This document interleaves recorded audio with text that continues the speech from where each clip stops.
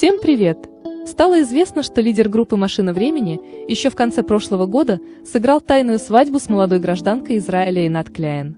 Но о подробностях церемонии бракосочетания 66-летний молодой муж рассказал только сейчас. Торжественная церемония состоялась в Яфе. Молодая жена уговорила музыканта сыграть свадьбу по всем еврейским традициям, чтобы все было красиво.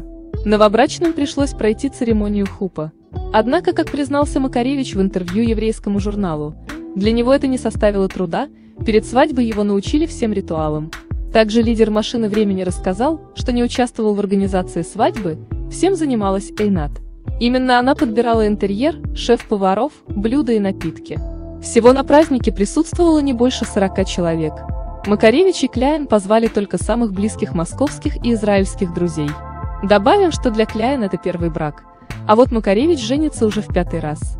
Но, по его словам, свадебная церемония прошла в его жизни впервые. Насыщенная гастрольная жизнь может стать испытанием для молодоженов.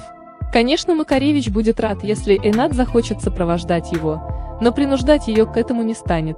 Сейчас влюбленные не знают, когда смогут снова встретиться. При этом они продолжают строить планы на будущее. Осенью Макаревич мечтает съездить со второй половинки в Марокко. При этом он хочет и поскорее вернуться к работе, ведь из-за пандемии машине времени пришлось отложить все концерты.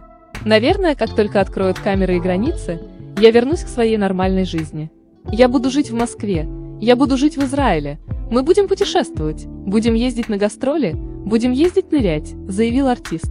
В интервью Макаревич признался, что уже давно не чувствовал себя таким счастливым. Эйнат дарит музыканту самое главное – вдохновение, и за это он никогда не устанет ее благодарить.